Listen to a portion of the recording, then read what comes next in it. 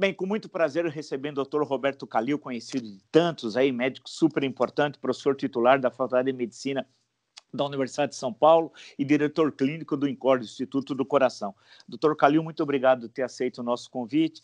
A primeira questão que eu coloco ao senhor, como é que o SUS e o senhor que conhece tão, é, tão, tão, tanto o SUS, o, o Sistema Unificado de Saúde, é, está enfrentando esse momento tão difícil da saúde pública no Brasil? Bom, o SUS, como você sabe, é um sistema que atende mais de 100 milhões de pessoas. É um sistema é, que as pessoas assim dão a vida por atender os pacientes.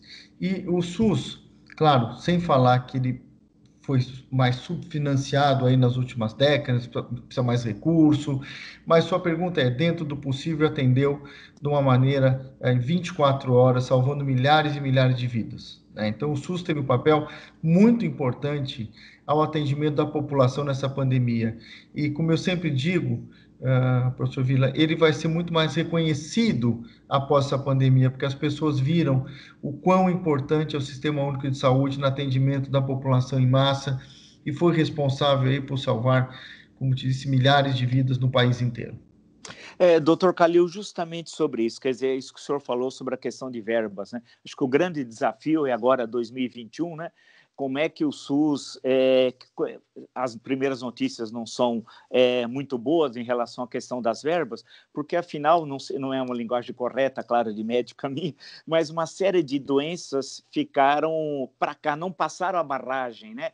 É, ficaram meio escondidos, muita gente não, não fez seus exames, então, é, infelizmente, é, é possível que em 2021 haja um desalgadouro de doenças que foram represadas em 2020. E essa questão, doutor Calil, como é que é possível o sistema único de saúde o sistema hospitalar enfrentar?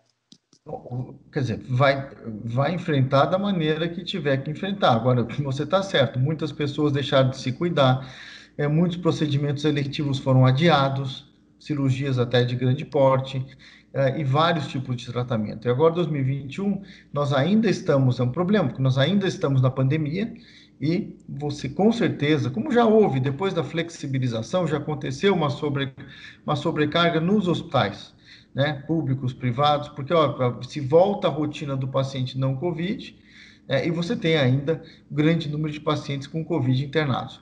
Então, vai ser um desafio 2021, porque nós estamos ainda na pandemia, é, apesar da vacinação chegando aí, nós vamos, nos primeiros meses, provavelmente, ainda enfrentar muitos casos do coronavírus no país inteiro. E vai ser um desafio você é, é, começar a atender a sua rotina ou continuar a sua rotina normal de um hospital público, por exemplo, como Encora, cirurgias cardíacas, tudo, né? E, e, e, e, ainda atender os pacientes com Covid, né? Então, é, ainda vai ser uma guerra nesses primeiros meses, acredito, de, de 2021. É justamente sobre isso, eh, doutor Calil, a questão da vacinação, né? Porque até o momento, infelizmente, nós não temos um desenho do Plano Nacional de Vacinação. Um país como o nosso, que tem tradição de vacinação em larguíssima escala, é importante sempre a gente destacar, mas no caso da Covid-19, infelizmente, não há ainda um plano, não há uma data, é, não há nada. Isso preocupa?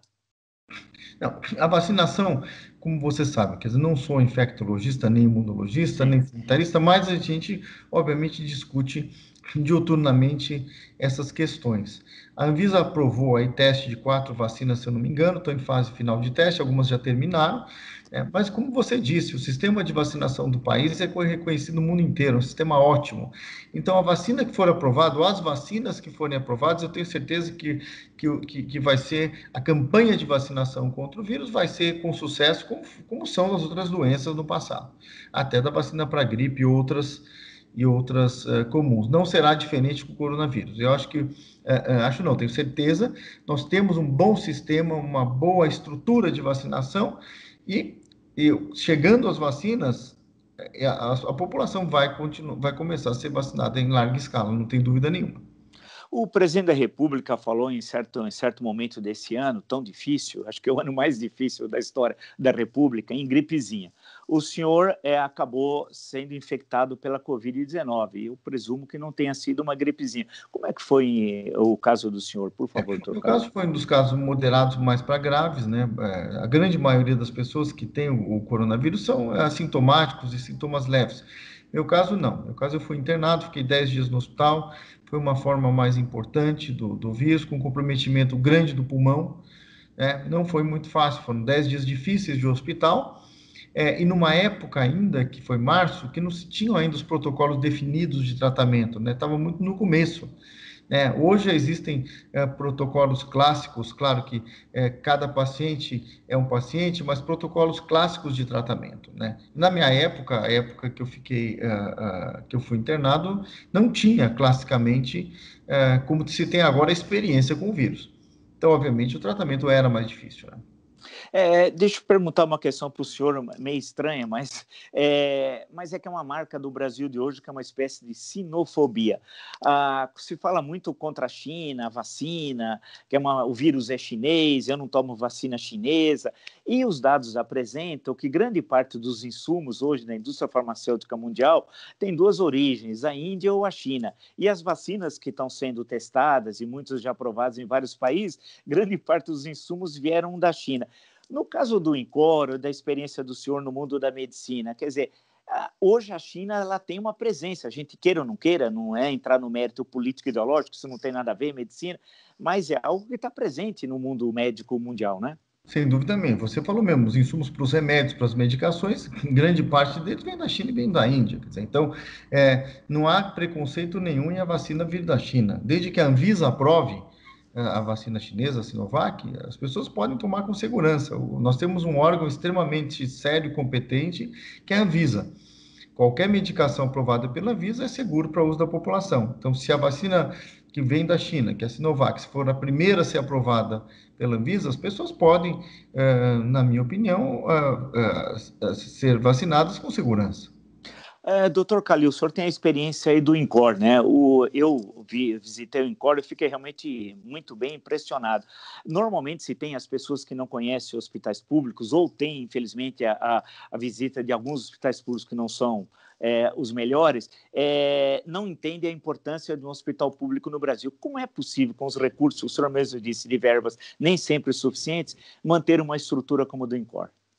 É, nós temos no Brasil, quer dizer, vários hospitais públicos uh, em várias regiões de excelência, né, em várias áreas. O INCOR é um hospital de excelência em cardiologia.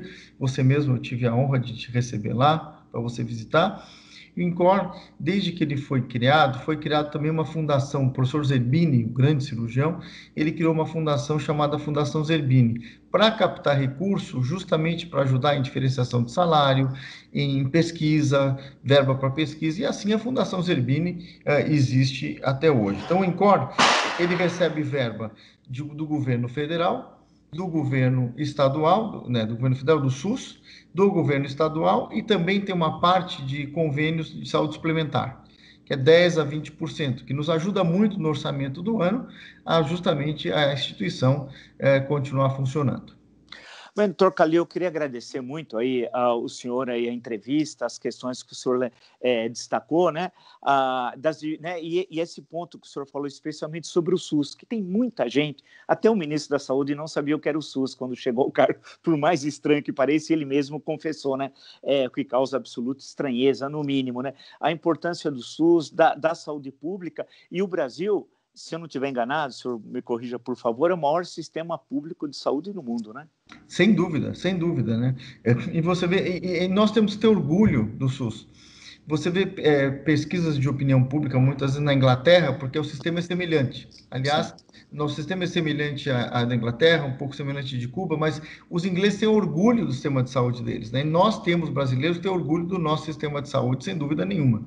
Porque, veja, claro que é, é, tem regiões em que o SUS é, é, é não tem tanta aparelhagem por falta de recurso mesmo, né? O SUS tem que ter mais recurso, plano de carreira para estimular as pessoas também.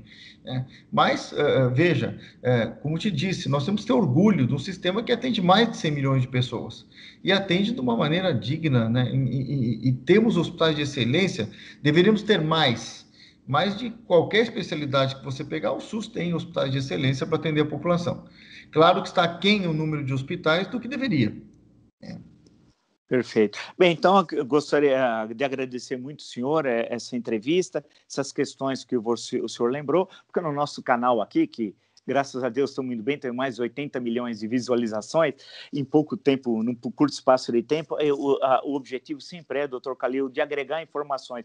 Claro. E na área médica, mais ainda, que o senhor não imagina o mal que faz o WhatsApp, a tia do Zap sobre questões médicas e o doutor Google. São duas coisas terríveis, especialmente no momento desse 2020 que estamos vivendo aí. Então, agradeço muito. Muito obrigado, doutor. Muito obrigado.